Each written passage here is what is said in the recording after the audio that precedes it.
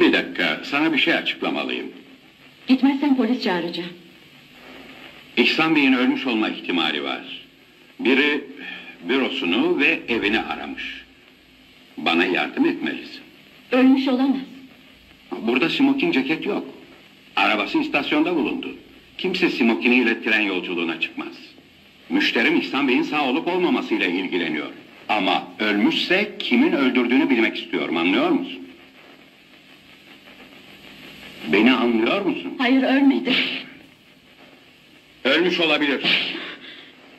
Ölmedi. Ölmüş olabilir. Hayır ölmedi.